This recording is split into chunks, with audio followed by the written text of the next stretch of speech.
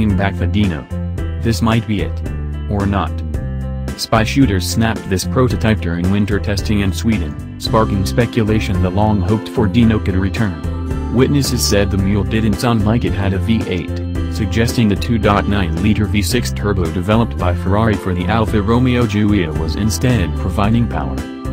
Fiat Chrysler chief Sergio Marchionne said back in 2015, it's a when not an if. We know that it, Is an underused resource, but that's why we need to get it right. He also suggested a 500 horsepower V6 would be the right fit for a new Dino.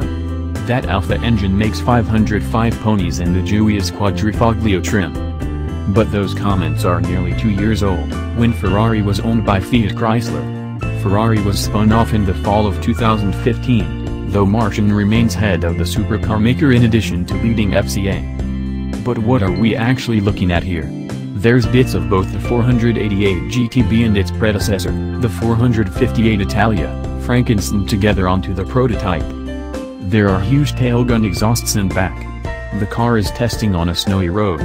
Could in fact Ferrari be shaking down an all-wheel drive 488 variant?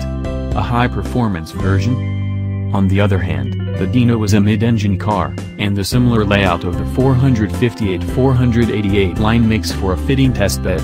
Perhaps Ferrari is using that body style to conceal the identity of an all-new project like the Dino. Or perhaps,